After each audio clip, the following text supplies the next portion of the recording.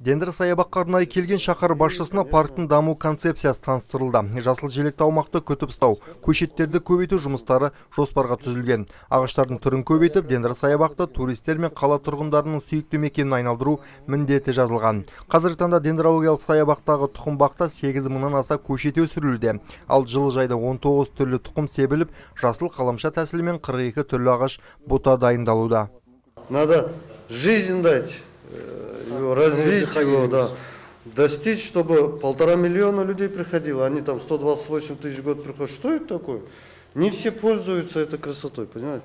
А чтобы все пришли, пользовались, это для, для них создать надо инфраструктуру, условия, комфортные условия. Было там э, европейские, там, комфортные туалеты, там. Можно люди, чтобы целыми днями находились, с утра до вечера. Сондай ақ мұрат дүйсенбекұлы аумағы 976 гектарды құрайтын жасыл белдеу коммуналдық мемлекеттік мекемесінде де болды. Мұнда жалпы саны 262 мың түп ағаш көшеттері егілген. Болашақта аумағы кеңейіп көгалдандыру жұмыстары қарқын алмақ.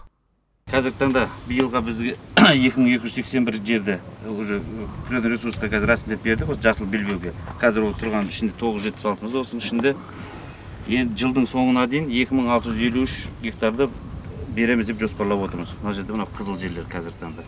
Ижетеде тұрғандар. Соттасып сол жұмыстарды жасап жатырмыз.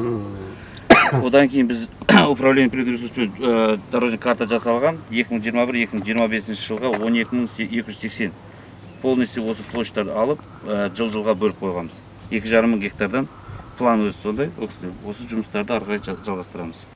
Айта өтейік қала әкімі жасыл аймақты дамыту үшін ең алдымен шымкент қаласындағы ағаштарға түгендеу жұмыстарын жүргізуді тапсырды. Соның нәтижесінде жасыл белдеуді ұлғайту мен көгалдандыру мәселесін қарастыруды тапсырды. Нұрлан пайызов саят асанханов